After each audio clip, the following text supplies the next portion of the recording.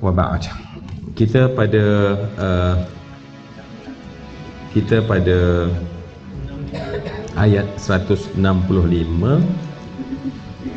uh, buku ataupun kitab kita ni pada muka surat 83 kita baca sama-sama insya-Allah. Auzubillahi minasyaitonirrajim Okey, أوكي. ومن الناس من يتخذ من دون الله أندادا يحبونهم كحب الله. والذين آ... والذين آمنوا أشد حبا لله. ولو يرى الذي ولو يرى الذين ظلموا إذ يرون العذاب أن القوة لله جميعا. وأن الله شديد العذاب.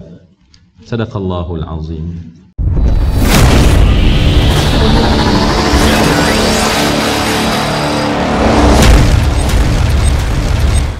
عليكم ورحمة الله وبركاته. الفاتحة. أعوذ بالله من الشيطان الرجيم. بسم الله الرحمن الرحيم. إياك نعبد وإياك نستعين اهدنا الصراط المستقيم صراط الذين أنعمت عليهم غير المغضوب عليهم ولا الضالين. أعوذ بالله من الشيطان الرجيم. بسم الله الرحمن الرحيم. الحمد لله الحمد لله رب العالمين وبه نستعين على أمور الدنيا والدين. الصلاة والسلام على رسول الأمين سيدنا ونبينا وحبيبنا وشفيعنا محمد وعلى آله وصحبه أجمعين اللهم رب اشرح لي صدري ويسر لي أمري واهلل عقدة عقدة من لساني يفقه قولي سبحانك لا علم لنا إلا ما علمتنا إنك أنت العليم الحكيم لا حول ولا قوة إلا بالله العلي العظيم. اللهم ارزقنا فهم النبيين وحفظ المرسلين وإلهام الملائكة مقربين اللهم أغننا بالعلم وزينا بالحلم وأكرمنا بالتقوى وجملنا afiyah ya arhamar rahimin wa ya akram akramin. Wa ba'd. Kita pada uh, kita pada ayat 165 uh, buku ataupun kitab kita ni pada muka surat 83 kita baca sama-sama insya-Allah auzubillahi minasyaitonirrajim Okey, wa minan nasi may yattakhidhu min dunillahi andadan yuhibbunahum ka hubbillah walladhina والذين آمنوا أشد حبا لله ولو يرى الذي ولو يرى الذين ظلموا إذ يرون العذاب أن القوة lillahi jami'a. Wa anna allaha syadidul azab. Sadaqallahu alazim Baik, Alhamdulillah semua yang saya hormati, semua yang saya kasihi sekali lagi dengan izin Allah, dengan kasih sayang daripada Allah, maka kita dikekalkan lagi nikmat dapat kita sama-sama menjadi tetamunya di rumahnya yang sangat mulia ini, yang sangat agung ini. Dan kita yakini bahawa dalam mana-mana binaan dalam mana-mana bangunan tidak ada yang dapat menandingi rumah Allah Subhanahu wa taala. Itu yang disebutkan oleh Nabi sallallahu alaihi wasallam inna khairal biqa'i fil ardi al masajid sesungguhnya tempat bangunan yang terbaik di atas muka bumi adalah masjid jadi kita sedang kita kena sedarkan kita kena sedar, sedarkan diri kita bahawa kita sedang berada di tempat terbaik tempat teristimewa, tempat terindah, tempat tercantik, tempat terunggul. Kita sedang berada di situ, ya. Semoga uh, lahirlah keterujaan dalam hati kita dan kita menghargainya. Ha, itu yang paling penting sebab bila kita menghargainya, maka kita akan bersyukur kepadanya. Kalau kita tidak menghargainya, kita rasa biasa-biasa saja. Ini rutin je kan. Hari Selasa pagi-pagi tak ada kerja datanglah ke sini. Eh, bukan soal tak ada kerja tetapi sebenarnya sebab Allah mencampakkan kepada dia hubbi sayangnya pada kita. Sampai sekira-kira kita ni jadi dekat dengannya ya. Kita jadi dekat dengan Allah. Jadi perasaan tu nak kena sentiasa polish dalam hati kita. Kalau tidak ya jadilah orang yang buat amal tapi di hujungnya tanpa ada syukur. Ya tak ada syukur pada Allah. Dan bila tak ada syukur nikmat ini Allah tak akan tambahkan. Sebab Allah dah buat satu peraturan la in syakartum la azidannakum. Kalau kamu syukur barulah aku akan tambah ya. Kamu syukur dulu barulah aku akan tambah. Jadi jadilah kita ni orang yang sentiasa bertambah rasa syukur dan seperti biasa saya ingatkan diri saya hamba Allah yang fakir ini seorang hamba Allah yang berdosa ini. Semoga kita bila langkah tadi kita masuk dan langkah kita adalah langkah sebagai seorang pendosa yang ingin bertaubat pada Allah. Ya kena kekalkan rasa itu.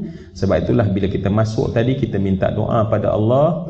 Allahumma ghfirli dhunubi waftahli abwaba rahmatika. Ya itu yang kita kena rasa. Bukan sekadar ucap tetapi kita rasakan dalam hati kita ya Allah ampunlah ya Allah dosaku ya Allah. Ya kita tinggalkan di laluan belakang sebelum datang ke masjid itu penuh dengan dosa-dosa ya Allah yang kita lalai kita lupa kita alfa ya. Allah maghfir li dhunubi ya Allah ampunlah dosaku ya Allah waftahli seolah-olah nak buka pintu rahmat tu anak kuncinya adalah minta ampun pada Allah. Maknanya kalau kita masuk pintu tapi tak tak buka anak kuncinya, memohon ampun pada Allah, kita tak akan dapat rahmat-rahmat Allah. Abwab. Pintu-pintu rahmat Allah sekarang sedang terbuka untuk kita semua. Tetapi anak kuncinya pada ampunkan dosaku ya Allah. Ampunlah dosaku ya Allah. Okey baik. Alhamdulillah. Baik. Uh, seperti yang kita kita bincang pada minggu sudah ya. Uh, minggu ini sebenarnya bagi siapa yang benar-benar ingin uh, dalam solatnya ihdinas siratal mustaqim hidayahkanlah kami ya Allah jalan yang lurus ayyitamassakna bihi yakni kukuhkanlah kami ya Allah di atas hidayah tersebut. Maka Allah Subhanahu wa taala dalam surah al-baqarah memperincikan maksud hidayah yang kamu pinta itu ya. Memperincikan ya. Uh, dengan jelas apa maksud hidayah yang kamu pinta itu. Sebab dia mungkin dalam bentuk yang sangat umum general. Ihdinas sirat. Tunjukkanlah tunjukilah kami ya Allah. Hidayahkanlah kami ya Allah. Tetapi sekarang kita cuba spesifik Allah spesifikkan dalam surah al-baqarah. Dan pada minggu sudah saya menyebut satu perkataan arif. Betul kan?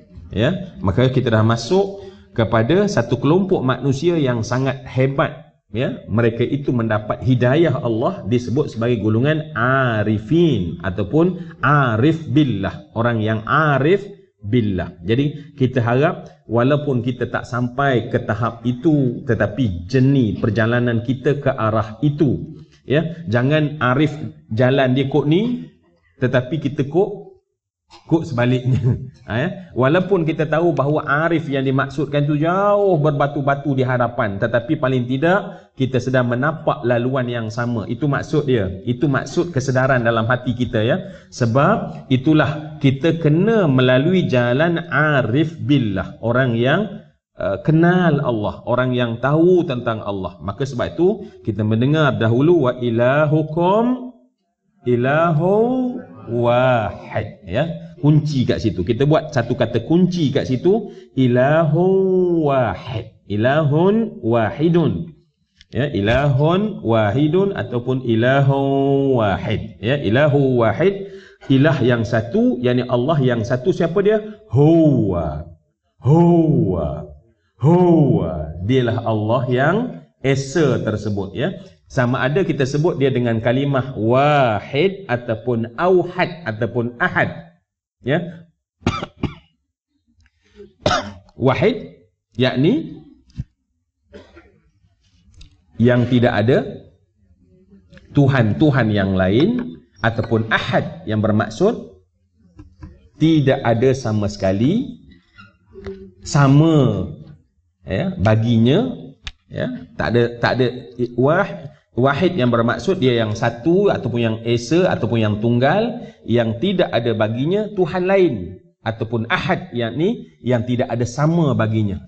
Termasuk tidak ada baginya juzuk-juzuk seperti makhluk yang punya juzuk-juzuk. Dan juzuk tersebut boleh ditanggal-tanggal. Maka jadi tangan campur kaki campur badan campur kepala campur kat kepala pula mata biji mata campur-campur-campur daripada juzuk juz'iyah itu maka jadilah satu kulliyah satu kesatuan maka Allah itu ahad tidak ada sebegitu kalau begitu, maknanya kita telah meletakkan bukan ilahun wahid. Maknanya ada lagi bentuk-bentuk. Ah, inilah yang cuba diteroka oleh para penyembah selain daripada Tuhan yang menjuzuk-juzukkan Tuhan. Sebab tu kita nampak cuma mereka lebih berani jelmakan dia. Ya, jisim dan jelmakan dia. Sebab itu kita nampak ada yang yang ni bayangkan macam ni ada satu kepala satu tangan tak cukup dua tangan dua tangan tak cukup tiga tangan. Buat banyak tangan contohnya ya. Ini sebenarnya sebab bercanggahan dengan ilahun wahid. Kalau dia ilahun wahid, maka tidak ada tak telat tak terdatang pun dalam zihin. Apa zihin? Dalam minda dia gambaran apa pun tak boleh ada sebarang gambaran apa pun tentang Tuhan dan tak boleh ajar gambaran tu dalam kepala manusia. Sebab manusia macam kita selalu kata dia punya visualization dia itu dia boleh create. Dia boleh create. Ha, ya, macam saya katalah jangan Jangan Jangan bayang. Ha, Apa dia sedang buat? Dia nak bayang lah tu. Jangan bayang seekor kuda Yang kulitnya berwarna hijau berkilat-kilat. Apa sih? ha, dah bayang dah ya? Yang melompat tinggi. Ha, Terbayang dah dalam kepala kan? Jadi begitulah zihin manusia tak boleh uh, Laisa lahu kufuan ahad. Kufuan ahad tak ada boleh. Ada pun yang yang sebegitu. Sebarang sebegitu kena buang dalam kepala kita. Kalau kita nak mencapai ilahun wahid. Maka hanya sebab itulah kita nak cenderung kepada jalan arifin billah. Orang arif billah idrak dapatnya mereka tentang Tuhan itu tidak dapat. Ya. Kalau selagi dia dapat, oh dia kata saya dapat dah Tuhan ni. Dah dapat dah gambaran ni nampak dah ya. Yang ni tak mengaji ni tak nampak lagi. So kita mengaji dah nampak dah gambaran Tuhan. Bayang-bayang tu dah nampak itu idrak. Maknanya idrak, maknanya dia dah dapat, maka tu tak dapat. Bila kita tak dapat, itulah dapat. Ya, tentang Tuhan ini bila kita tak dapat, maka itulah dapat. Bila kita rasa dapat, itu tak dapat. Ha, ya. Jadi boleh ingat insya-Allah ya. Baik, maka kemudian kita ceritakan bagaimana orang arif menggunakan akal mereka bahkan hati mereka untuk melihat alam. Betul kan? sehingga melihat apa dia ciptaan-ciptaan Allah Subhanahu wa taala. Okey, baik. Sekarang kita masuk pada ayat ini, kita sama-sama bermohon ke hadirat Allah. Seperti yang saya katakan tadi bagi orang arif, ini yang ini ayat yang penting yang kita kena buka semua spotlight kita. Letakkan benda ini di bawah spotlight hidayah kita, ya. Di bawah permohonan hidayah kita, ya. Sebenarnya apa bentuk kita dengan Allah ni? Ya. Di sini Allah memperjelaskan apa bentuk perhubungan kita dengan Allah. Apa bentuk perhubungan kita dengan Allah? Ya, kita dengan isteri kita. Apa bentuk perhubungannya suami isteri? Ya, ada anak. Apa apa nama perhubungan itu? Anak dan ibu ayah. Ya, kita dengan sahabat kita yang kita tak kita baru jumpa. Oh, nama perhubungan itu sahabat. Ya, contohnya makin baik sahabat Karib. Nampak? Kita menamakan perhubungan itu barulah orang kata di situlah letaknya integriti. Maksudnya integriti ni bila kita tahu apa makna sebenarnya. Apa makna sebenarnya dan tak berubah makna tersebut. Baik. Jadi Bila kita minta doa pada Allah jalan yang lurus, maka kita tengok ayat ini sangat penting kepada kita. Okey. Di samping tengok tangan saya, ya.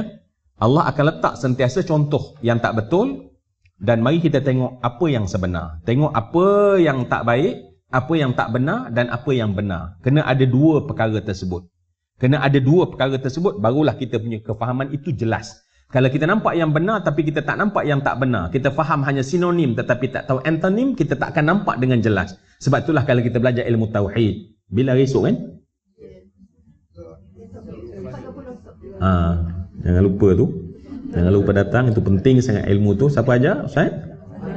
Ha, jangan lupa nak belajar dengan Ustaz Muhadin, ya, seorang guru yang sangat baik. Baik, sebab tu kita tengok kadang-kadang kita tengok kenapa ulama mengajar wujud artinya ada lawannya tiada. Baik, sebenarnya akal manusia, akal manusia ya, akan benar-benar jitu kefahamannya bila dia faham, di, di, dikukuhkan makna makna yang bersamaan ataupun definasi tetapi dia mesti faham juga makna yang berlawanan. Sebab itulah ulama cuba bawa perkara tersebut, ya, bawa perkara tersebut. Boleh je Allah tu ada, tetapi kita mesti faham maksud tiada. Barulah kita faham makna ada. Ha, itu maksud dia. Simple je, simple je bukan satu yang yang macam complicated dah. Normal saja, normal sahaja, ya. Bukan satu yang complicated nak memahami apa maksud ada, tak faham kita maksud ada sehingga kita faham maksud tiada. Kita takkan faham makna putih sebenar sehingga kita faham makna hitam. Putih tapi tak faham hitam. Mungkin kita akan bayangkan grey, kuning, Maka sebab tu difahami perkara tersebut ya. Baik, saya letakkan dua di sini. Ayat ini kena pergi begitu, ya. Kena pergi begitu. Semua boleh nampak ke? Saya risau dah ni diam je kan. Sarapan dah sarapan kan? Kan? Ha, ya. So mesti ada dua tersebut ya. Sebab tu Allah kata wa ilakum ilahun wahid. La ilaha. Ya. So mesti yang pertama tu ilahun wahid tetapi mesti ada penafian la ilaha. Tidak ada Tuhan melainkan hak itu tadi. Dan kemudian di, dikokohkan dengan Ar-Rahman Ar-Rahim. Ha, itu pengokohan sahaja. Tetapi ceritanya adalah satu dua. Baik. Wa minan nas. Okey, kita masuk kepada yang yang tidak ni. Ni yang tidak ni. Wa minan nasi may yattakhidhu min dunillahi ya dan di antara manusia ada yang mengambil selain daripada Tuhan. Ya. Di kalangan manusia ada yang mengambil wamin dan daripada manusia. Maknanya di, tentulah satu kelompok manusia yang ramai itu Uh, sekarang Allah letak sekali orang beriman, orang tak beriman, mereka jadikan sebagai satu manusia. Dan daripada manusia, daripada ramai tersebut, maka Allah sebut, wa minan nasi dan daripada manusia, may yattakhidhu sesiapa, yakni man, yakni sesiapa, yattakhidhu yang mengambil min daripada dunillah, selain daripada Allah. Apa yang dia ambil? Anda dan anda dan bermakna Sabi, syabih. Syabihan maknanya penyerupaan. Maknanya patutnya ambil Tuhan. Tetapi ada yang mengambil Tuhan itu serupa macam Tuhan juga. Lantas mereka namakan itu Tuhan. Ya? Ya? Bukan Tuhan. Tetapi mereka buat satu lagi tetapi mereka namakan itu Tuhan. Ha, itu maksud dia ya. Ambil satu benda mayatakhidh uh, min dunillah selain daripada Allah yang ilahukum ilahu wahid tadi tetapi mereka ambil sebagai anda dan sebagai satu uh, misalan just sebagai alternatif kononnya mulanya sebagai alternatif tetapi alternatif itu sebagai misal kepada Allah Subhanahu wa taala dan dalam konteks ayat ni disebut berhala-berhala. Maksudnya sembahan-sembahan. Whatever sembahan. Apa saja sembahan. Berhala sanamun bagi orang Arab Quraisy. Tetapi bagi kita kita terjemahkan apa saja sembahan-sembahan sembahan selain daripada Allah Subhanahu wa taala. Senarailah semua agama lain maka kita akan mendapati maka yang mereka sembah itu andadan. Ya bukan Tuhan yang sebenar. Mereka sembah satu benda yang sipi tetapi mereka anggap kuasanya macam Tuhan itu. Mereka anggap zatnya macam Tuhan tersebut. Ya? Jadi ini yang dikatakan syabih. Ya? Ataupun andadan tadi. Maksud andadan adalah mereka mengambil selain. Selain itu maknanya apa saja selain daripada Allah. Maknanya dalam masa yang sama mereka mengambil makhluk sebagai sembahan. Ya? Baik, tetapi Allah nak cerita ni yang penting. Ayat ini dia punya address dia adalah alamatnya adalah nak cerita tentang bila kita dengan Tuhan. Bila kita dengan Tuhan, apa bentuk ilaqah? Apa bentuk hubungannya? Hubungannya dalam bentuk apa? Sebagai hamba dengan sebagai ham, aku hamba, dia Tuhan, aku sebagai yang tak berkuasa, dia sangat berkuasa. Baik Allah namakan apa bentuk ilaqah itu. Apa Allah namakan bentuk perhubungan itu. Baik. Apa nama perhubungan tersebut? Bila Allah letakkan kepada mereka, maka Allah Subhanahu wa taala meletakkan bahawa mereka yang menyembah selain daripada Allah sebagai misalan yakni berhala berhala tersebut dan mereka itu yuhibbunahum yuhibbunahum mereka itu yuhibbu yuhibbu yakni yuhibbuna ada di sana perkataan cinta kasih sayang cinta kasih sayang. Oh, maknanya yang pertama dia orang ni ambil satu benda selain daripada Tuhan sebagai misalan yang bukan itu Tuhan tetapi mereka meletakkan cinta mereka kepada perkara tersebut. Baik ya. Satu sembah, yang kedua cinta. So, Allah sedang nak cerita pada kita perkara yang penting sekarang. Allah sedang nak cerita kepada kita sekarang perkara yang penting. Apa yang penting? Allah sebut kahubbillah. Kahubbillah seperti mencintai Allah. Ya, seperti mencintai Allah. Baik. Di situ macam ada sikit macam confuse ayat tu maknanya adakah mereka sembah berhala macam mereka sembah mereka, uh, mereka sembah berhala dan mereka sayang berhala seperti mereka sayang Allah kahubbillah baik saya su- saya suka bila uh, terjemahan di sini adalah kahubbikum fillah. Ya, kahubbikum fillah. Kahubbillah. Okey, seperti kita mungkin terbayang seperti okey, mereka okey sekali lagi ya saya nak buat ni macam payahlah pagi ni. Eh? Okey, mereka sembah selain Allah, berhala. Kemudian mereka cinta berhala sebenarnya Allah kat sini ni Allah lah yang sebenar-benarnya tetapi mereka sayang berhala tersebut kahubbillah seperti mereka sayang Allah. Okey. So bukan seperti mereka sayang Allah. Seperti sayangnya kamu orang beriman kepada Allah. Kahubbikum fillah. Kahubbillah bukan kahubbihim fillah. Kahubbikum fillah. Seperti kamu sayang Allah. Mana Allah nak letak kat sini sekarang ni, orang kalau dia beriman bukan sekadar dia sembah Allah, tetapi dia sayang Allah. Mereka ini sembah Allah, mereka sayang sembahan mereka. Sebab tu mereka mereka sembah dengan sayang. Jangan kacau-kacau. Kalau kacau-kacau dia kacau kita. Jangan kata-kata dia kata kita. Sebab itulah Al-Quran mengajar jangan kita mencela sembahan-sembahan orang kafir. Nanti dia akan mencela Allah. Sebab apa? Sebab kenapa dia marah? Kenapa mereka rasa sensitif? Sebab cinta, sayang, kasih. Jadi di sini Allah Subhanahu Wa Taala bagi tahu bahawa sebenarnya bagi orang yang beriman ada satu benda sebelum Allah bagi tahu dengan jelas maknanya dengan Allah hubungannya adalah cinta. Bukan hanya sembah. Bukan hanya sembah.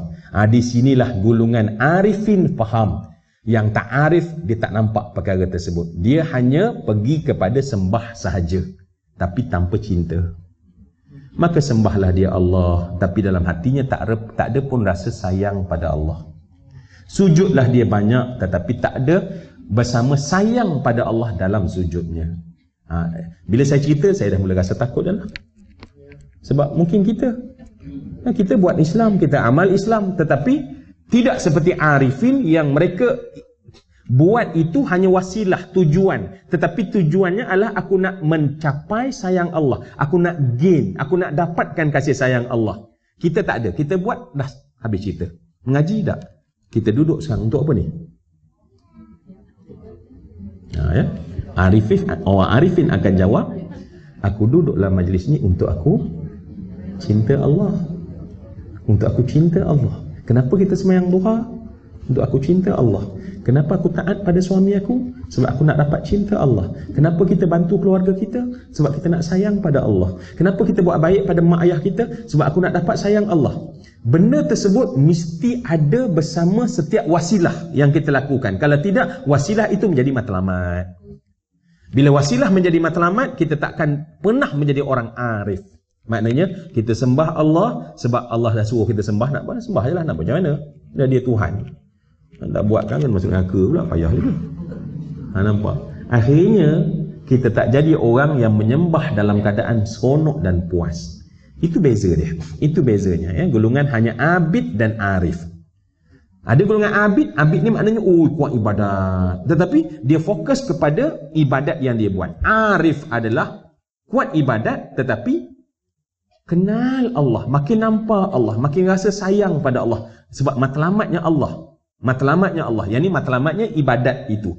Jadi sebab tu kita kena merubah kita punya uh, konsep kita. Bukan sekadar hanya uh, perhubungan kita dengan Allah itu seperti Allah katakan tadi. Mereka itu menyembah, mengambil selain daripada Tuhan itu untuk sembah. Tetapi adalah Allah itu diambil sebagai sembahan dan juga sebagai yang kita sayang. Okey, well, okey kita tengok sebab tu lepas tu Allah perjelaskan Allah perjelaskan lagi walladzina amanu ashaddu hubban lillah. Nampak tu? Jelas Allah bagi tahu sedangkan ya sedangkan walladzina maknanya sebab ayat itu diterjemahkan dengan makna sedangkan maknanya dah cerita sayang-sayang dua-dua ni sayang so sedangkan maksudnya yang kita kata sedangkan orang yang beriman itu mereka itu adalah beri, uh, mereka itu beriman asyaddu hubban. Ha, sekarang ni bukan ada hubban tetapi masuk kalimah asyaddu hubban. Asyaddu maknanya bersangatan sayang. So maknanya apabila mereka mengambil sembahan dan mereka kemudian sayang pada sembahan dan orang yang beriman mengambil Allah sebagai sembahan, sebagai Tuhan tetapi sayang Bezanya mereka di sini apa dia? Kita ada asyaddu hubban. Asyaddu hubban. Ha, di sini ada sikit masalah lah sebab hubban pun tak sampai lagi. Tiba-tiba nak masuk asyaddu hubban. Bersangatan pula. Maknanya dia punya fokus betul-betul dah. Jadi memang aku nak dapat sayang Allah. Aku nak memang gila pada cinta kasih sayang pada Allah. Ya, Yang ini disebut sebagai bila golongan arif disebut apa? Orang-orang yang disebut wajdan. Zauq. Zauq ya orang yang dah sampai pada dia merasai ha, dia sampai tahap itu ya sampai pada tahap itu akhirnya dia naiklah pada gulungan musyahadah yang disebut dalam hadis ihsan an ta'budallah ka'annaka tarah macam engkau melihat Allah Subhanahu wa taala. Ini gulungan orang yang asyaddu hubban lillah. Baik kita baca kita habiskan. Nanti kita saya rasa kita, kita kita akan kita akan fokus ayat ini saja sebab ayat ini sangat penting sebenarnya. Ayat ini sangat penting. Memberi makna sebenar kepada hidayah yang kita pinta pada Allah Subhanahu wa taala. Okey sekali lagi walladzina amanu asyaddu hubban lillah. Sedangkan orang-orang yang beriman itu amat mencintai Allah, sangat sayang pada Allah, sangat sayang pada Allah. Okey? melebihi dalam syarahnya melebihi kecintaan kepada sesiapa pun kerana mereka tidak hendak berpaling daripadanya dalam keadaan bagaimanapun sementara orang kafir cinta kepada Allah itu hanya dalam bentuk terdesak ataupun terpaksa. Okey? Sebab orang kafir akan datang satu masa yang mana mereka itu disembah sembahan-sembahan dia tetapi pada saat mereka sangat gawat mereka akan naik ke lebih atas lagi. Dia akan naik, naik lebih atas lagi. Pada ketika itu ini berlaku pada orang kafir ketika mereka berlaku dalam keadaan gawat yang bersangatan. Bila gawat bersangatan, akhirnya mereka akan serahkan kepada sesuatu yang lebih atas lagi. Ya, bila sembahan biasa hari-hari dia pergilah sembah nama ni, nama ni, nama ni, nama ni, nama ni. Tetapi bila mereka dalam keadaan betul betul betul kritikal, Allah sebutkan tentang sifat mereka, mereka akhirnya akan pergi kepada yang lebih tinggi. Ya, sama ada mereka namakan Allah atau nama apa pun, tetapi mereka ketika itu dah meletakkan bukan lagi uh, uh, sandaran mereka pada Tuhan yang sekarang mereka say- uh, sembahan yang mereka sayang sekarang. Sebab itu tak hairan kan berlaku pada Firaun kan? Firaun bila dalam keadaan berhadapan dengan kematian, apa dia sebut? Aku beriman dengan Tuhan Musa dan Harun. Aku beriman dengan Tuhan uh, Bani Israel. Aku beriman dengan Tuhan sekalian alam. Maknanya bila bila keadaan mendesak antara hidup dan mati, tiba-tiba mereka bergantung pergantungan yang berbeza. Baik kita tengok dulu. Walau yara dan sekiranya kamu melihat hai hey Muhammad alladzina zalamu orang-orang yang iniaya yang mengambil uh, andadan tadi yang zalamu tu zalim di sini ialah bukan zalim pada orang tetapi zalim pada diri sendiri dan zalim pada Allah sebab mengambil ya kezaliman yang paling dahsyat adalah kesyirikan sebab mengambil yang tak layak bagi Allah tetapi dijadikan itu sebagai sama dengan Allah. Itu disebut sebagai zalim. Ya, itu zalim yang paling besar. Ya. Idh yarawna ketika mereka melihat atau diperlihatkan kepada mereka ya bina di atas uh, fa'il ataupun maf'ul al-azab azab ya pastinya kamu akan melihat urusan hebat Sedangkan idh di sini berarti idha ya, apabila ya. Anna bahawa sesungguhnya maksudnya kerana sesungguhnya al-quwwah kekuatan itu yakni kekuasaan dan keunggulan itu lillahi jami'a. Ya, bagi Allah kesemuanya ya jami'an itu hal keadaan. Wa anna Allah syadidul syadidul azab dan bahawa Allah itu amat berat siksaannya. Okey menurut satu qiraat dibaca dengan yara bukan yaraun. Dengan titik dua di bawah yara. Sedangkan menjadi fa'ilnya ni, ni ni tak apalah ni ini dari segi bahasa saja uh, qiraat saja uh, fa'ilnya al-dhamir dan ganti-gantinya daripada pendengar. Adapun yang mengatakan orang yang inaya sedangkan ia yara berarti meyakini. Sementara anna dan kalimat yang di belakangnya berfungsi sebagai maf'ul awal dan maf'ul thani mengenai jawapan-jawapan lau dibuang. Artinya hmm, dan diperkirakan saya baca je dulu ya. Dan diperkira, diperkirakan sebagai berikut. Okey, maknanya struktur ayatnya jadi macam ni. Sekiranya mereka mengetahui secara pasti di atas dunia ini betapa kerasnya seksa Allah dan ketika bertemu dengannya di hari akhirat nanti kekuasaan terpegang di tangannya semata-mata tentulah mereka takkan mengambil yang lain sebagai tandingan. Tu ayat itu conclusion kepada orang kafir. Conclusion kepada orang sebab tu saya letak dua tadi ya. Saya letak dua tadi pada orang kafir. So perbahasan di atas tu perbahasan dia. So pakai highlight itu maksud semua per, perbincangan yarau, yara, illa, lau, itu anna, semua itu di, di struktur ayatnya dibuat oleh Imam uh, Imam Jalalain Sekiranya mereka mengetahui secara pasti di atas dunia ini betapa kerasnya seksa Allah dan ketika bertemu dengannya di hari akhirat. Nanti kekuasaan terpegang. Maknanya kekuasaan itu hanya dalam genggaman Allah. Semata-mata tentulah mereka tidak akan mengambil Allah sebagai adanya andadan tadi. Andadan tadi. So dibalik kepada andadan. Yakni yang tak layak tapi diletakkan. Itu bagi Allah Subhanahu wa taala. Ha? se? Sekufu. Sekutu. Ya. Tak layak lagi bagi sekutu sebab Allah Subhanahu wa taala bagi tahu mereka itu bila langganan tersepit yang bersangatan akhirnya mereka akan lompat kepada Allah di dunia.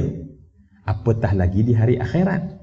Bila di hari akhirat tentulah pastinya mereka dalam keadaan tersepit Maka pada ketika itu pergantungannya kepada Allah. Cuma sekiranya mereka dapat melihat akhirat Maka conclusion awalnya Mereka tak akan ambil apapun sebagai andadan Mereka tak akan ambil apapun sebagai andadan. Itu conclusion daripada ayat inilah.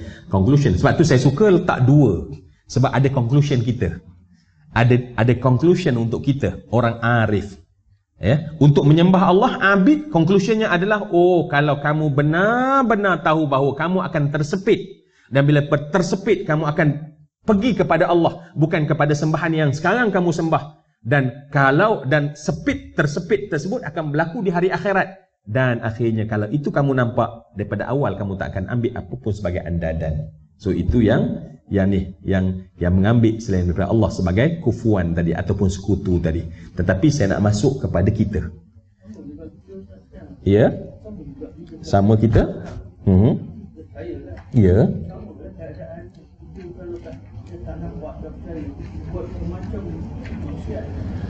Masya Allah. Ya, ya. Ya. Ya, sebab tu saya letakkan dua tadi. Maknanya bagi orang kafir ayat jelasnya adalah mengabdikan tetapi sayang. Tetapi bila tersepit, so naik lagi atas eh. Bila dia tersepit, dia lompat pada Allah. Ya, dan apatah lagi di hari akhirat yang lebih tersepit, maka maka pada ketika itu mereka tahu bahawa tak ada siapa yang dapat menyelamatkan mereka. Bahkan dalam ayat-ayat yang lain kita baca di awal, siapakah yang memenuhi neraka jahanam? Siapa yang memenuhi neraka jahanam? An-nasu wal hijarah. An-nasu wal hijarah.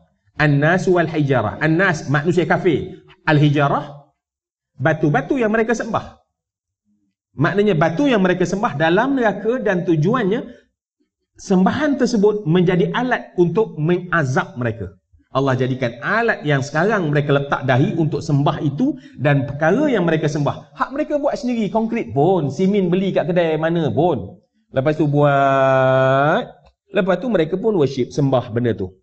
Dan itulah yang akan jadi bahan bakar neraka jahanam. Maka dalam neraka jahanam itu adalah an-nas wal hijarah. Hijarah di sana adalah batu yang dijadikan untuk mereka sembah. Dan kemudian bukan sekadar mereka disembah di, eh, dalam tu penuh. Uh, dalam neraka tu Allah kata ada manusia, ada batu. Manusia kena bakar, batu menjadi alat untuk membakar orang itu. Nah, di sini disembah maka kalau nampak maka tak patut pun mengambil apa pun selain daripada Allah sebagai tak perlu. Saja-saja je ambil.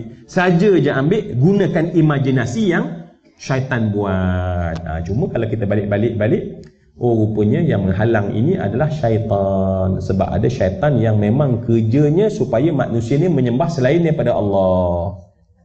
Ha? sebab tu dalam surah Yasin kita baca Allah ta'budush syaitan. Alam ahad ilaikum Adakah kami telah tetapkan satu perjanjian perintah Allah ta'budu syaitan. Jangan kamu sembah syaitan. Ha, ini sembah syaitan lah sebenarnya. Sembah syaitan.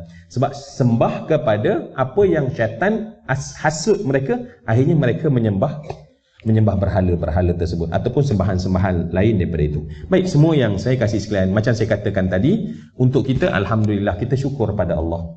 Ya, Allah bagi hidayah pada kita sampai kita nampak bahawa takkan mungkin ada Tuhan selain daripada Allah.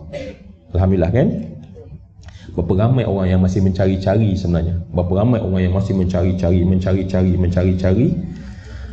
Uh, apakah Allah apakah Tuhan yang sebenar apakah Tuhan yang sebenar? Uh, hopping daripada hop daripada satu daripada satu agama ke satu agama daripada satu, belajar daripada satu agama ke satu agama ya?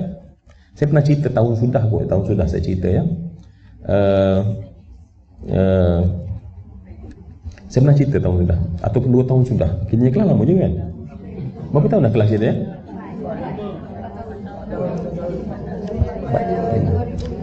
2015 4 tahun baru. Macam lama sangat lah gaya Tu Haji angkat tangan tu ya Allah. 4 tahun bukan lama sangat kan? Baru tahu 4 Kat universiti baru tahu 4 Ha? uh, saya mungkin dalam tu saya cerita ya. Uh, dalam N, NLP NLP saya saya tak ingatlah sebab saya tak saya tak plan nak cerita ni tapi ter, terlintaskan. NLP NLP NLP ni neuro linguistic programming satu program uh, dia lebih dia sebenarnya uh, teknik komunikasi komunikasi lah yang popular di barat. Katanya semua presiden dia kena masuk macam mana dia kena master NLP baru dia jadi the best speaker. Uh, baik. Uh, cuma saya nak cerita ni uh, dalam tu maaf saya, saya saya tak ingat nama. Kalau kita cari nanti kita akan jumpa lah. Tapi jangan sekarang cari sekarang naik Shopee lah perginya. Ya Allah. Takut no eh kalau kita pergi tengok ni kan? Mulanya nak baca Quran kan? Tiba-tiba tengok hmm, termasuk ya Allah ada pula update baru Lazada perginya. Itu yang tak nak tengok sekarang. Nanti tengok. Ada seorang disebut sebagai uh, Dia ni pakar Modul dalam NLP tu ya, Pakar modul dalam NLP Saya, saya betul lupa nama dia dan umur dia pun dah 70 lebih kat 80 dulu lah sekarang saya, Allah Allah masih hidup atau tidak ya masa 2 tahun tu ya uh, Tuan Haji ada Okey, okey, okey. Saya nak tiup sikit. Betulkan sikit pada saya punya perkataan saya. Dia masih muda lagi. Okey. Tapi berpengalaman. Tapi banyak pengalaman. Ya. Dan saya nak cerita apa dia? Dia yang dia banner modul tu dan akhirnya soalan-soalan yang dia tanya dan dia tanya dia cari jawapan ya. Dia cari tentang kehidupan, meaning tentang kehidupan, dia cari tentang manusia, dia kaji tentang pattern manusia, dia tengok dia tengok tentang dia buat analisa tentang manusia, buat psychoanalysis, sebab dan buat kajian semua sekali dan akhirnya dia menghantar dia kepada bahawa sebenarnya Tuhan itu satu. Itu conclusion dia akhir. Ya. Setelah dia tengok, dia kaji tentang manusia itu satu. Dan akhirnya dengan hidayah Allah, Tuhan satu itu adalah Allah.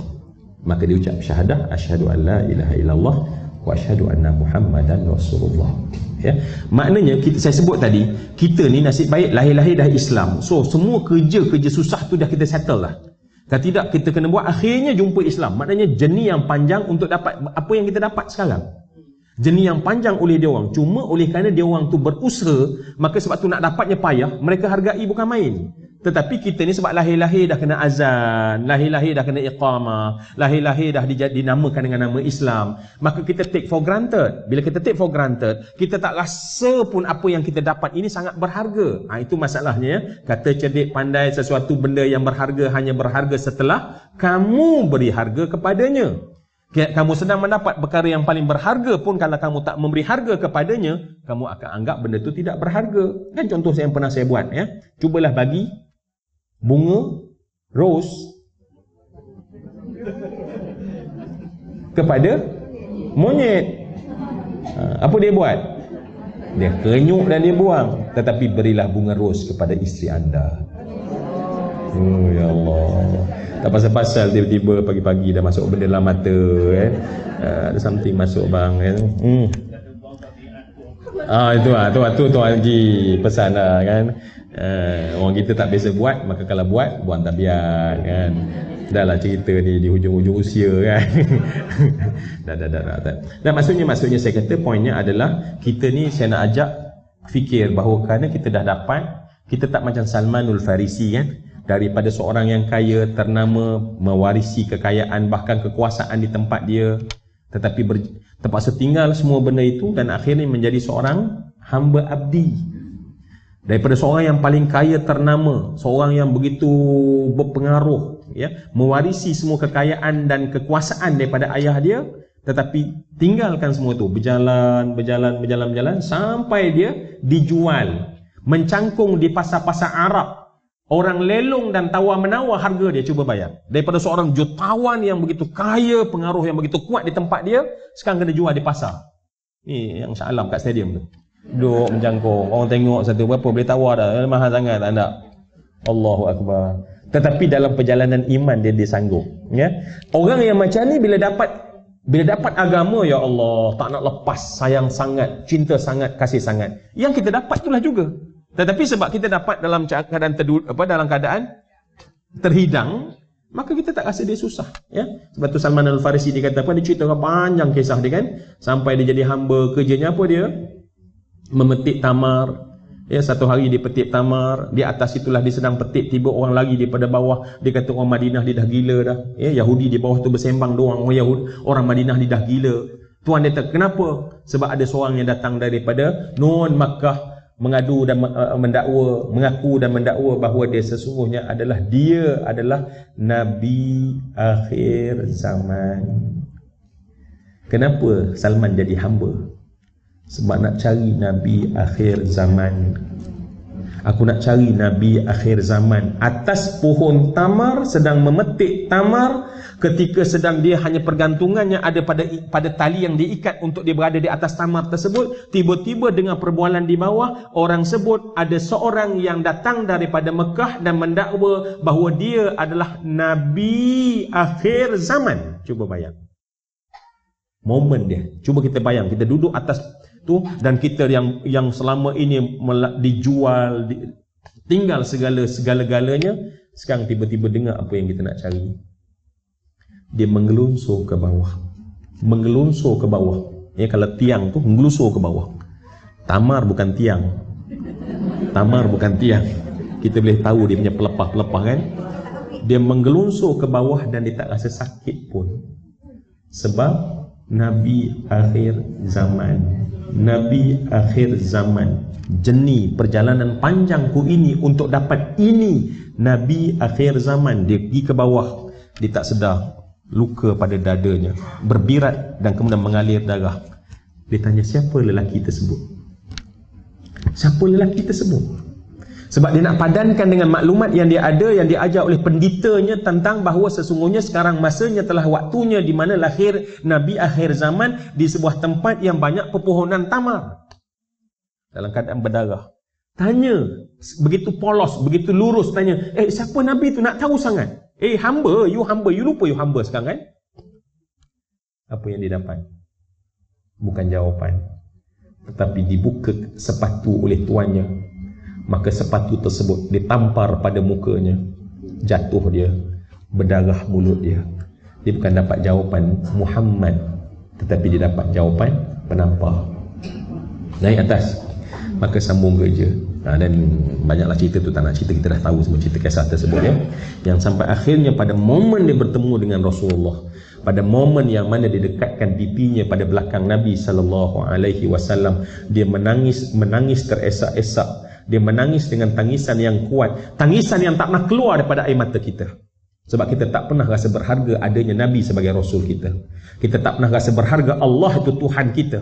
Sebab kita dapat dalam keadaan terhidang. Tetapi Salmanul Farisi menangis teresak-esak tak nak melepaskan pipinya dengan belakang Nabi SAW. Bersentuhan kulitnya dengan kulit Nabi SAW. Kerana dia dapat apa yang dia nak. Dia dapat apa yang dia cari. It's okay untuk aku menjadi seorang hamba daripada seorang yang paling kaya.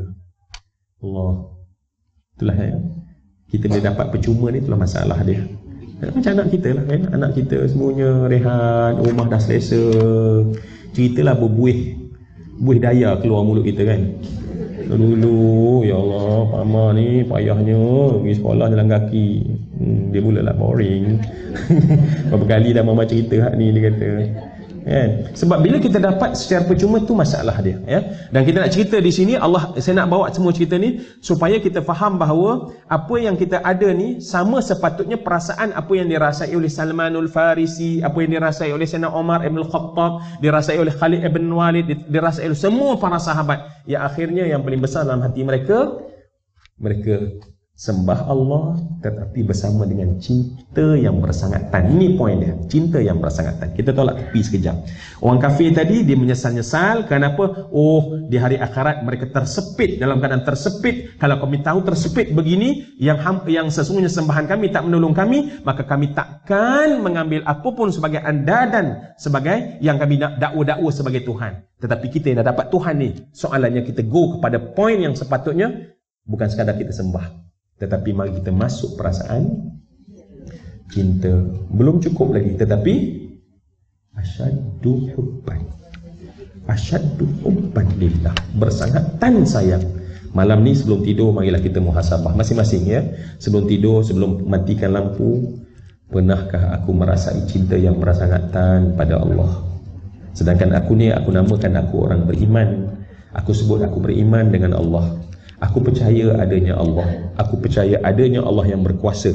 Ya, sebab itulah kalau kita tengok ayat sebelum daripada ini, Allah minta kita berfikir, Allah kunci pada perkataan Ar-Rahmanur Rahim. Malam ni, marilah kita semua muhasabah seorang-seorang kita.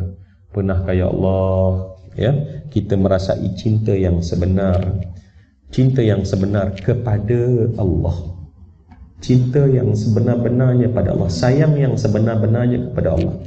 Kita sayang pada makhluk Allah sampai menangis-nangis. Ya, sampai seluruh perasaan kita, kepercayaan kita, harapan kita sandarkan kepada Dia yang Dia juga makhluk. Ya. Tetapi pernahkah kita sayang kepada Allah dengan asyaddu hubban? So, untuk dapat hidayah Allah, wahai orang yang beriman, kita kena ada asyaddu hubban lillah. Asyaddu hubban lillah. Maka kita nak sangat kita bersama Ya Allah Rezekikan kami Asyadda hubban laka Cinta yang bersangatan kepada engkau. Baik, saya ada membuat sedikit catatan ya menurut sebahagian daripada ulama ya. Perkara yang menyebabkan kita mendapat sayang Allah. Setelah setelah kita ni setelah kita ni nak ya nak dengan Allah tu asyaddu hubban sampai semua sayang-sayang menjadi sirna. Yang menjadi sayang utama adalah sayang Allah. Imam Ghazali menulis dalam Mukasyafatul Mukasyafatul Qulub Mukasyafatul Qulub ya. Cerita tentang Zulaikha. Ya Zulaikha. Cerita dia je dalam saya nak kongsi je ya. Sebab dia mengajar tentang sayang. Imam Ghazali cara dia adalah dia dia nampakkan dulu sayang sesama makhluk. Lepas tu dia ajar betapa sayang yang lebih tinggi ya, dia, dia, dia cerita dulu. Norm normalnya sayang makhluk macam ni sayang makhluk macam ni maka dalam kisah tu dia cerita tentang Zulaikha yang sayang sangat pada Yusuf. Zulaikha ni sayang sangat. Ujian hidup dia satu je. Dia sayang sangat pada Yusuf. Tu je ujian hidup dia. Ujian dia dia hidup senang mewah segala-galanya. Tetapi ujian Allah untuk dia adalah perasaan sayang yang sangat amat pada Yusuf Nabi Yusuf bukan Yusuf kat sini ni kalau ada Yusuf kat sini memanglah tersenyum-senyum sekarang kan ya itu ujian dia ujian dia Allah aku sayang sangatlah kat Yusuf ni sayang sebab dia melihat dia ni membesar depan mata dia dan begitu dan dia tak pernah nampak dan orang juga tak pernah nampak seorang yang sekacak ini, sehandsome ini. It's okay kita rasa macam Allah aku tak handsome. Okay. Kalau nak dibandingkan Nabi Yusuf tapi jangan risau dalam syurga kita akan dapat kehandsomean Nabi Yusuf. Amin ya Rabb. Perempuan ni ambil laki dah pun macam relax je. kehandsomean tu laki-laki lah maksudnya kan. Perempuan dah memanglah akan dicantikkan wajahnya dengan cantik ya. Lebih cantik daripada bidadari, lebih cantik daripada bidadari.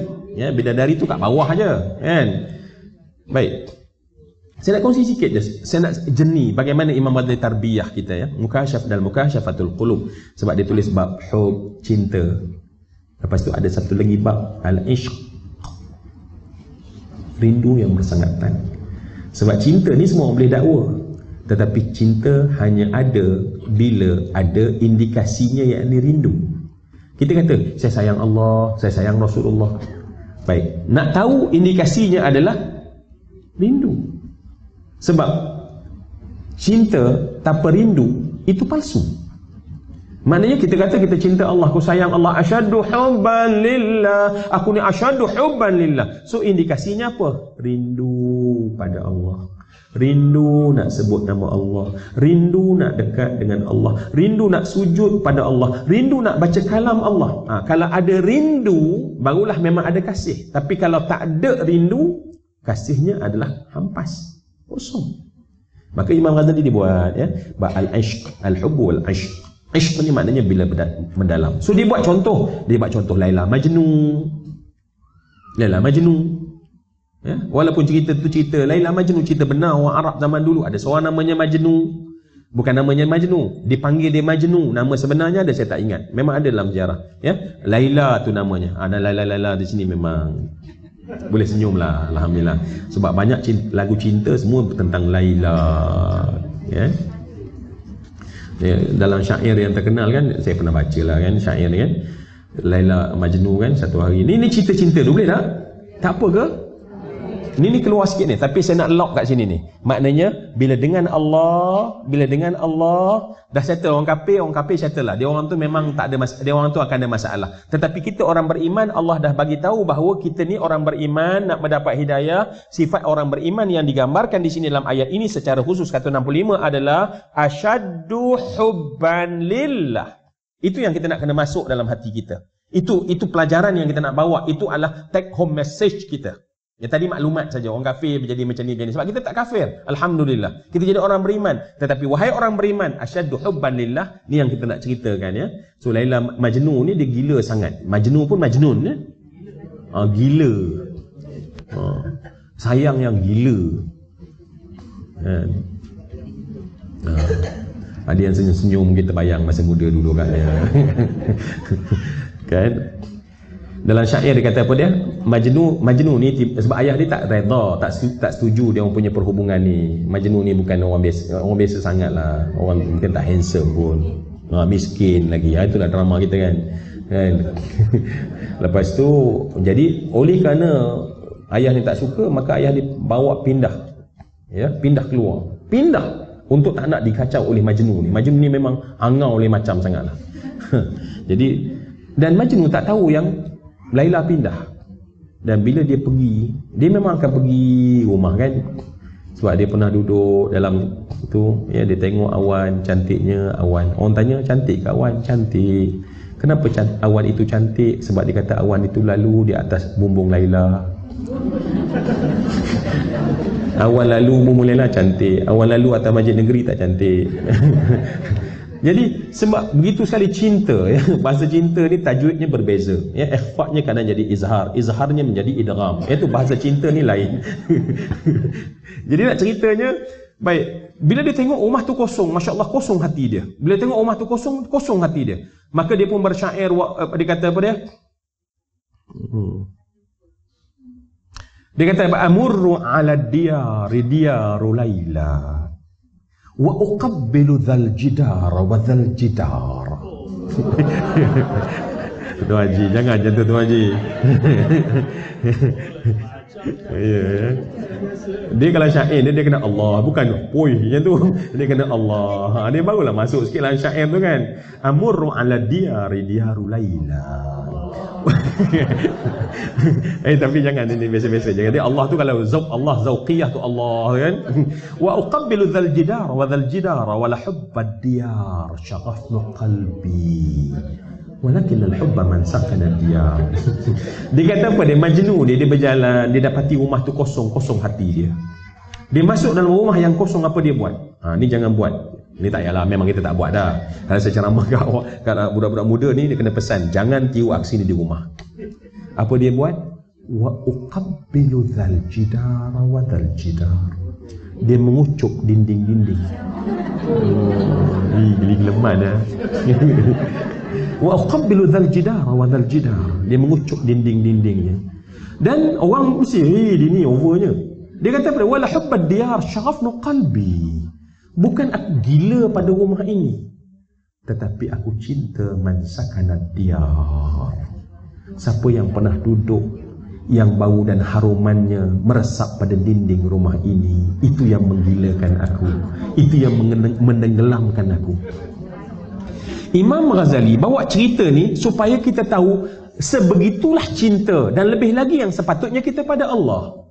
Ini hak macam tu pun tak ada tak ada mabuk masjid negeri, masjid negeri ya Allah. Tak ada kan. Quran ya Allah, mabuknya cinta gilanya kita tak ada, ya. Kita kalah dengan dengan majnu pun. Sepatutnya kita asyaddu hubban Allah sebut asyaddu hubban lillah. Baik nak cerita Zulaikha dan cerita tu, ya tak kisahlah. Uh, kisah ni sebagai orang kata uh, metafor. Dek kerana Zulaikha ni ujian dia satu je apa dia? Yusuf. Dan dia rasa bahawa dia boleh dapat Yusuf. Yusuf lah Yusuf. Yusuf ya? Cop lah orang Melayu kata. Cop je pun kan? Yusuf ya? Yusuf Yusuf Yusuf Yusuf okey? Sehingga matanya menjadi buta akhirnya. Buta mata sebab mata ni tak dapat tengok dia selalu. Ya masa sebab bila dia penjara dia menderita. Bukan Yusuf menderita, dia menderita. Sebelum dia penjara, dia hari-hari tengok Yusuf. Tetapi bila dia cemburu, dia cemburu, dia marah, dia sakit hati, dipenjarakan Yusuf. Tetapi perpisahan itu menyebabkan dia jadi buta. Dan akhirnya dia fakir dan papa kedana. Sebab asal orang sebut nama Yusuf, muka dia berubah. Daripada murung. Sebut dia Yusuf, berubah dia. Nama sebut nama je. Aku tengok Yusuf lah tadi. Ah ya ke? Orang yang orang yang sebut nama Yusuf dia bagi cincin dia. Ya ke? Kau nampak dia kat mana? Please ambil cincin dia aku bagi hadiah kat kau. Kau nampak tadi majnun kan? Maknanya nak bagi tahu bahawa laki-laki dan perempuan perempuan dan dalam hati kita ada ada cinta tu ada cinta tu ada cinta tu ada. Okey Orang cakap tentang Yusuf bagi cincin. Ya? Ada orang lagi cakap, "Eh aku nak aku aku tadi nampak Yusuf senyum kat pasar lah." Kat Ion. Dengar je masya-Allah dia buka dia rantai dia. Dengar buka bagi. Dan akhirnya dia dia habis dan hilang segala-galanya dia jadi seorang yang kurus dan buta matanya dia fakir dalam rintihnya adalah Yusuf Yusuf Yusuf tu je dalam dalam hati dia. Ya? Ha. ya. Kisah ini saya, saya nak cerita macam dalam dalam muka syafatul kulub saja. Ya? Uh, Kisah tu macam-macam lah. Orang bincangkan. Yusuf ni ada kahwin dengan Zulaiha ke tidak. Tapi saya nak cerita kat sini. Saya nak, saya nak cerita bagi habis tu Haji. Sabar tu Haji. Ya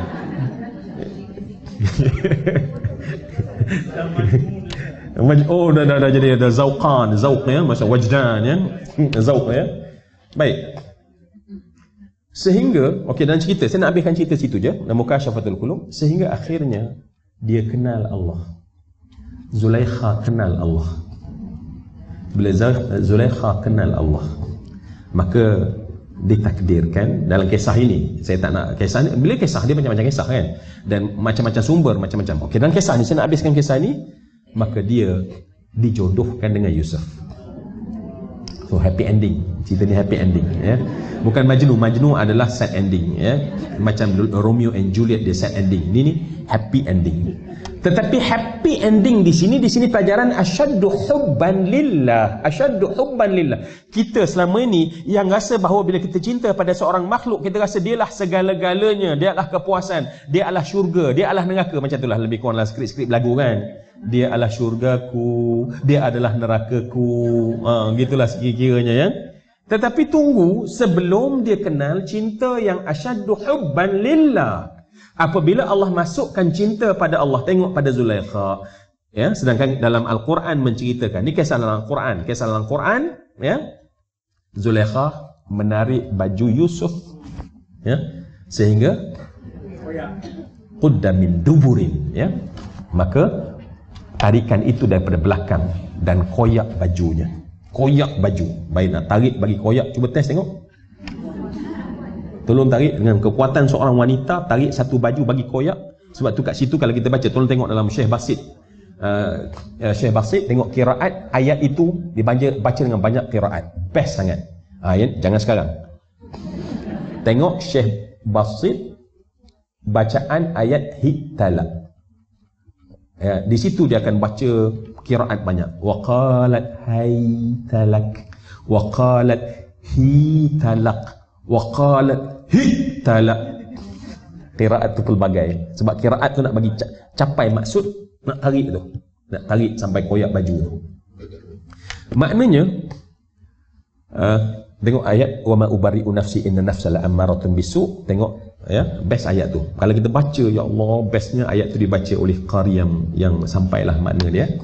So nak ceritanya seorang perempuan boleh tarik sampai koyak baju maknanya satu yang kuat. Dan pada saat dia beriman pada Allah ya beriman pada Allah dan pada saat tersebut hatinya hanya ada Allah dan Yusuf menjadi milik dia. Selama ni dia tak dapat sekarang jadi milik dia dan dia tak rasa apa pun tentang Yusuf. Sebab kecintaannya telah hanya pada Allah Subhanahu Wa Taala. Dalam cerita tu sehingga Yusuf yang tarik baju dia untuk maksudnya ha? ya sebab dia hanya ghalib melakukan ibadat. Ya sehingga koyak telekung dia. Maka ada syair ni sebenarnya ada syair dulu ketika dia tidak kenal Allah dia tarik baju sampai koyak tetapi sekarang telah beriman pada Allah Yusuf tarik baju dia sampai koyak Baik, saya nak uh, saya bawa maklumat kat situ je. Tetapi bukan itu poinnya. Itu ini metafor saja. Kita boleh bahaskan Yusuf ni kahwin ke tak ya dengan Zulaikha. Ini kisah daripada mana daripada mana daripada mana. Tentulah Imam Ghazali ada sumber dia dan ulama juga ada sumber bila mereka cerita tentang perkara ini. Tetapi jangan kita habis kat situ. Tetapi nak ceritanya apa dia? Cinta yang manusia gila tersebut sebab kita belum dapat cinta Allah. Sekali kita dapat cinta Allah, kita akan rasa bahawa cinta, kegaguman, kehairanan kita terhadap cinta pada makhluk sebenarnya tak ada nilai apa-apa pun. Dan sebab itulah kita yang duduk dalam kelas kita pada pagi ini, mari kita rintih pada Allah macam macam saya kata malam nanti, Ya Allah tolonglah campak cinta itu Ya Allah. Sebab itulah meaning dan kepuasan sebenar. Di situlah makna sebenar perjalanan kita yang kita nak kecap dalam hidup kita ni insya-Allah. Maka untuk itu ada saya saya uh, saya buat satu catatan ya 10 perkara yang akan boleh mendapat cinta Allah. Ni sebagai ulama. Saya tengok banyak tapi saya nak buat yang ni ya. Untuk kita dapat cinta Allah Subhanahu Wa Taala, maknanya kita tajrib, kita latih. Tetapi ingat ya, latihan ni untuk goal dia adalah untuk dapat cinta Allah. Ha, jangan buat sebab kalau buat hanya sekadar rutin, dia akan jadi rutin, dia tak akan dapat uh, meaning, tak dapat makna. Itu problem kita hari ni kan, kita buat tetapi hanya rutin. Okey, baik. So, yang pertama nak dapat cinta Allah, ya nak dapat kasih Allah, cinta Allah, sayang. Sebab cinta kasih ni lah hati ya. Dia ada dia adalah bentuk rasa ya. Rasa sayang, rasa cinta, rasa kasih tetapi pada Allah. Dan kita doa macam saya kata tadi ya Allah, kau campakkanlah rasa dalam hati kami untuk cinta pada engkau ya Allah. Please ya Allah. Tolong Allah campakkan rasa tu ya Allah. So uh, uh, pertama sekali, okey sebelum saya nak buat 1 2 3 4 5 ni, yang pertama sekali kita kena setting dalam minda kita bahawa untuk dapat cinta Allah semua cinta-cinta kita kepada makhluk mesti kita nak letak dia di bawah cinta Allah. Itu nombor satu dulu. Itu prasyarat dia. Sebab Allah suruh kita. Allah suruh isteri sayang pada suami. Itu perintah Allah. Allah perintah suami sayang pada isteri. Itu perintah. Tetapi semua sayang itu mesti duduk di bawah cinta sayang Allah. Jangan sama apatah lagi mengatasi. Itu kena setting dulu. Semua cinta kena duduk di bawah cinta Allah. Kemudian tentulah cinta Rasulullah. Ha, dua itulah dia punya orang kata benchmark kita. Yang kena duduk di bawah itu semua cinta-cinta yang lain. Sebab of course kita akan sayang anak kita, kita akan sayang cucu kita, kita akan sayang kawan kita. Tetapi sekali lagi, mesti kita sedar bahawa semua cinta ini di bawah lempayung, di bawah payung cinta Allah. Baik, yang pertama, ha, ni usaha, ni, ni dari segi ikhtiar, maknanya usaha kita, usaha kita, latihan kita, latihan kita ya, untuk mendapat cinta. Setelah prasyarat tadi kita dah buat, sekarang untuk kita dapat cinta Allah pertama sekali menurut ulama yakni baca Al-Quran dengan tadabbur dan difahami maknanya. Ya. Yang pertama. Yang tadi prasyarat je, jangan masukkan. Sebab itu dalam kepala. Yang tadi tu tak ada tindakan, itu dalam kepala saja. Ya, yang pertama tadi jangan letakkan dalam nombor satu Tapi kan nak buat pun tak apa juga. Tapi nombor satu sebab nombor satunya adalah Yang tadi Bukan nombor satu Yang sebelum segala-gala bercerita tentang cinta Allah Kena letak dan sedar Secara sedar Bahawa semua cinta tu di bawah cinta Allah. Kalau kita tak letak macam tu nanti Cinta akan bersaing dengan Allah. Ya, Cinta sesama makhluk bersaing dengan cinta dengan Allah. Tak, tak, tak. Bawah. Dia kat bawah. Okey? Kita kompartmen siap-siap So nombor satu barulah usaha kita apa tajribah kita ialah baca Al-Quran. Dia memang nombor satu. Cinta ni mesti baca Quran. Untuk cinta Allah tak dapat tidak mesti kaitannya Quran. Kita mesti baca Al-Quran. Dan kita mesti tadabbur makna serta memahami makna. Tadabbur serta faham makna dia tadabbur tu maknanya sinkro kan? Maknanya apa message apa cerita dalam Quran tu mesti selari dengan rasa kita. Allah cerita tentang Allah sayang pemurah penyayang. Hati kita rasa penyayang pemurah Allah. Kalau Allah cerita tentang syurga kita rasa kenikmatan itu keharuman itu. Kalau Allah cerita tentang neraka rasa. So sinkro. Itu sifat tadabbur yang patut ada dalam hati ya. Dia kena, dia kena synchronizing. Jadi bermakna kalau kita baca Quran satu berkuat tanpa kita faham mana bacanya hmm. daripada kita baca satu ayat tapi dengan cara tu kita bagus. Ya betul ya. betul Tuan Haji betul ya? Untuk tajuk hubbillah asyaddu hubban lillah baca walaupun satu ayat. Tetapi kita ulang-ulang mentadabur makna dia sampai kita rasa dalam hati kita. Sampai wujud perasaan dalam hati kita. Wujud perasaan. Biar ada perasaan. Jangan tak ada feeling ketika kita membaca itu walaupun satu ya compare tu baca So, okay, untuk amalan ni untuk amalan ya. So, Al-Quran baca cara dua baca. Yang pertama baca untuk kita tu dekat. Ha, tu boleh yang macam baca kita baca. Kadang-kadang kita tak, tak faham pun makna dia. Tapi kita baca saja. It's okay untuk baca. Untuk itu jadikan cara, satu cara. Ha, jangan tinggalkan cara tu. Sebab kita dah buat kan, kita dah buat. Mungkin setiap kita ada uh, disiplinkan satu muka surat, dua muka surat, ada mungkin satu juzuk sehari. Itu teruskan. Ha, ada yang menghafaz, teruskan. Ha, jangan ataukan. Yang dah buat tu, jangan buang. Oh, rupanya tak kena rupanya selama ni. Allah, sia-sia. Nah, nah, nah, tak ada yang sia-sia. Bila dengar Al-Quran, tak ada yang sia-sia. Ya? Tetapi tambah satu lagi. Dalam maksud, asyaddu hubban lillah, kita baca tu, kita kena ambil masa betul-betul untuk kita feeling, kita rasa apa yang kita baca, maka melalui tadabbur. Yang tu kena tengok makna dia, tengok makna dia, tengok makna dia. Setelah kita belajar macam ni, ayat yang belakang tu uh, the best ayat lah sebab kita dah kita dah mengkaji ayat tu dengan mendalam kan. Jadi baca balik kita akan ya. Maka sebab itu kita dengar dahulu kisah orang orang orang soleh kan. Semalaman dia baca dalam solat dia satu ayat dia baca wudan saja. Wudan dalam surah Maryam, wudan. Kalimah wudda dia baca itu je daripada malam tahajud sampai ke sahur dia. Habis. Dia ulang hak tu je. Dan makin dia baca makin. Kenapa? Sebab orang kata kenapa kamu stuck kat situ? Kamu tak boleh nak sambung ayat macam kita kata Bismillahirrahmanirrahim.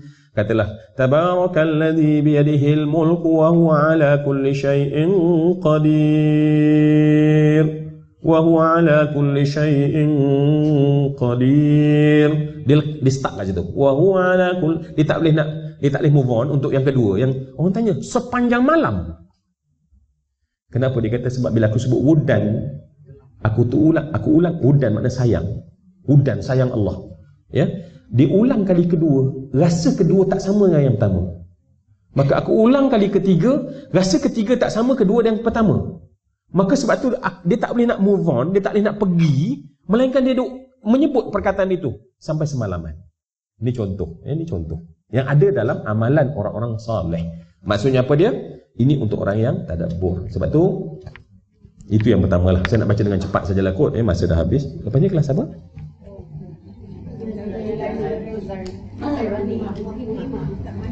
Kita muhid. Oh, muhimah. Patutlah soleh-solehah belaka nampaknya ya. Isteri soleh, suami soleh. Masya Allah. Ni banyak lelaki ke perempuan?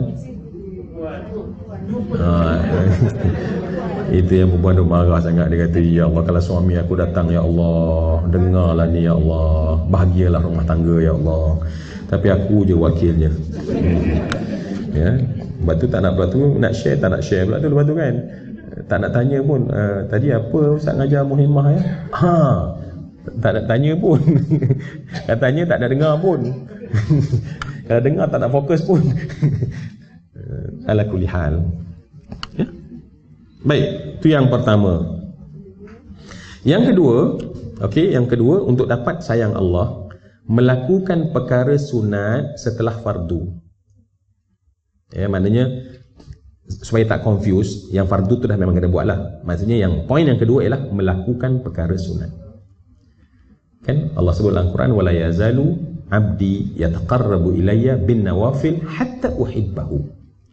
Sentiasa hamba-Ku buat yang sunat berterusan sampai aku sayang dia sampai aku sayang dia maknanya benda sunat inilah yang nak mendapat kita nak mendapat sayang Allah fardu of course lah kita kena buatlah sebab itu syarat dan kewajipan untuk kita.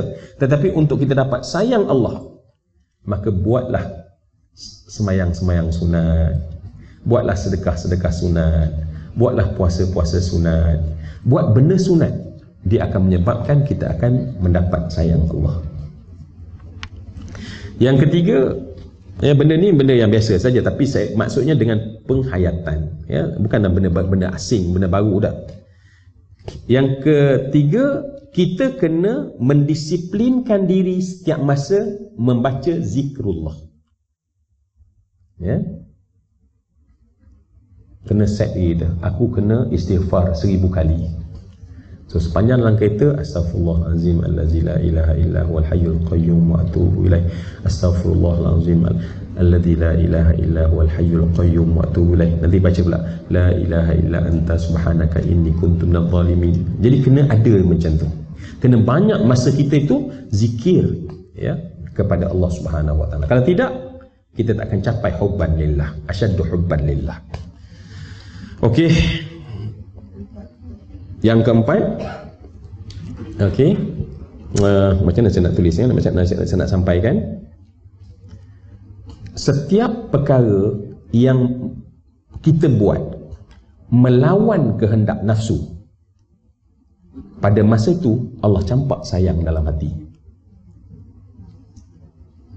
Sekecil mengalihkan pandangan lelaki daripada melihat wanita. Sekecil itu. Masa dia mengalihkan pandangan kat situ akan datang hubban lillah. Jadi kalau kita tak alih hubban tu tak sampai setiap perkara setiap perkara yang nafsu hendak tetapi kita lawan kehendak tersebut. Kerana itu adalah benda tak baik maka setiap kali ya tak kiralah apa pun. Tadi sebab satu contoh saja. Apa saja contoh yang nafsu kita nak tetapi perkara tersebut Allah tak redha dan kita berpaling daripadanya pada masa tu dapat hubban lillah. Dapat hubban lillah. Sebab tajuk kita sekarang ni adalah macam mana kita nak mencapai kasih sayang Allah Okey, ada pun yang seterusnya kita akan sambung pada kelas kita akan datang. Sebab nak sebab nak bergegas-gegas bergegas-gegas saya tak best lah pula kan. Uh, sebab benda ni benda ni bukan cerita fakta. Dia adalah penghayatan. Bukan tak tahu zikrullah, tetapi nak masuk dalam nak masukkan dalam penceritaan dalam message ini dia perlu kepada perlahan-lahan. Kan? Ha? Ah cukup lah Sebab kata fokus kat muhimah pula. Okey lah nanti sambung insyaAllah. Amin Tuan Haji insyaAllah. Amin Tuan Haji insyaAllah. Uh, Oh kan? Uh, ah, Dia kena macam tu kan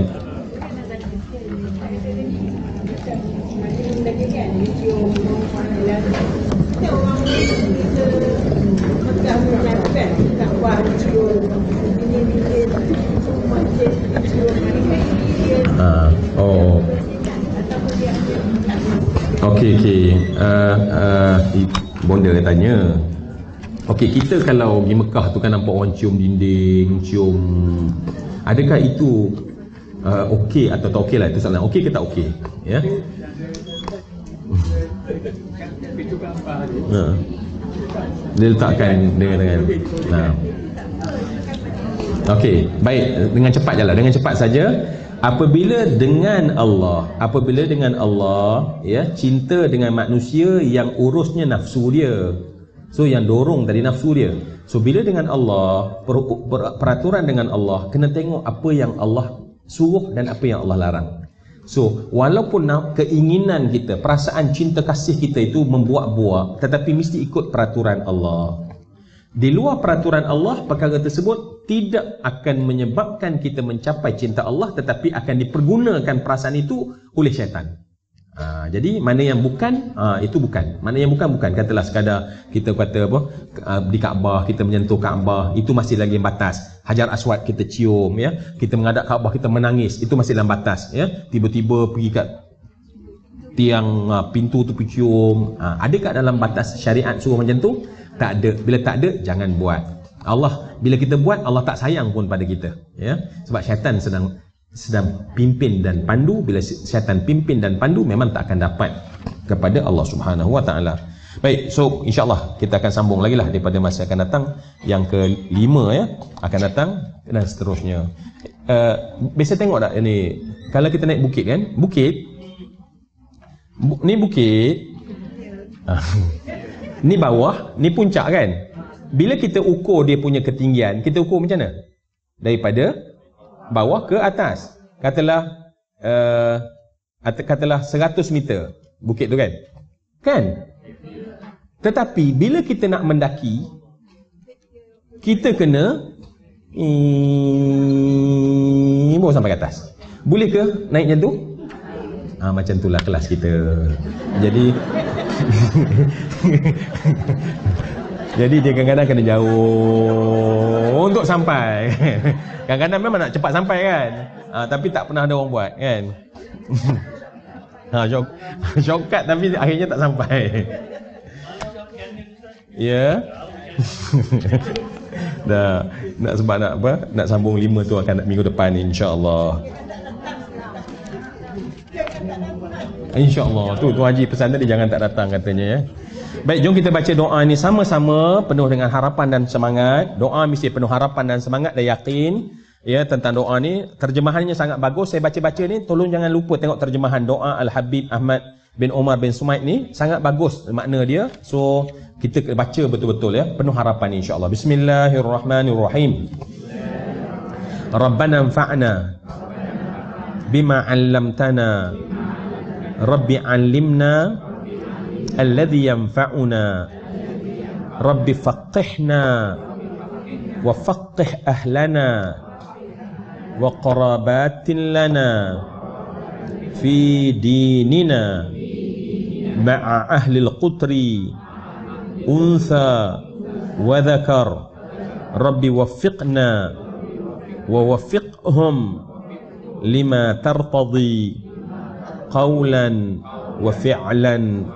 كرما وارزق الكل حلالا دائما وأخلاء أتقياء علماء نهضى بالخير ونكفى كل الشر. ربنا واصلح لنا كل الشؤون وأقر بالرضا منك العيون. واقضي عنا ربنا كل الديون قبل أن تأتينا رسل المنون. واغفر استر أنت أكرم ستر. وصلاة الله تغشى المصطفى من إلى الحق دعانا والوفى بكتاب فيه للناس شفا وعلى الآل الكرام الشرفاء وعلى الصحب المصابيه الغرر. اللهم اهدنا بهداك واجعلنا ممن يسارع في رضاك.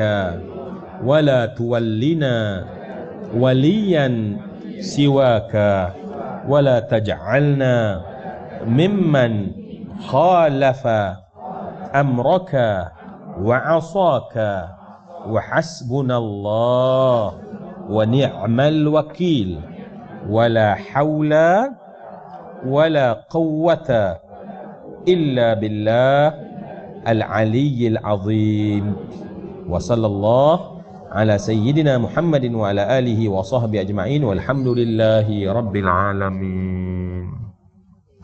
Saya nak baca juga sikit uh, makna, makna doa ni ya.